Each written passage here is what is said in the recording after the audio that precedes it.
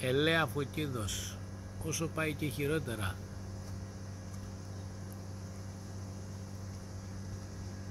Η φωτιά πλησιάζει το ξερογούνι. Επιτέλους να μπουν και εκεί ανεμογεννήτριες, να γεμίσουν όλα τα χωριά μας γύρω γύρω.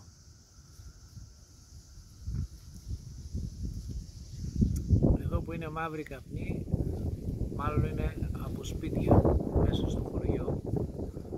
Ας ελπίσω ότι κάνω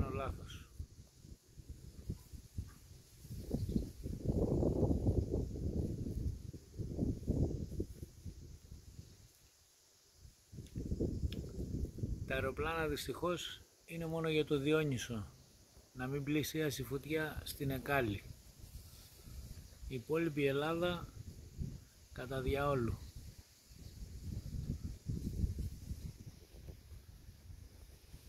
Κι άλλος μαύρος καπνός.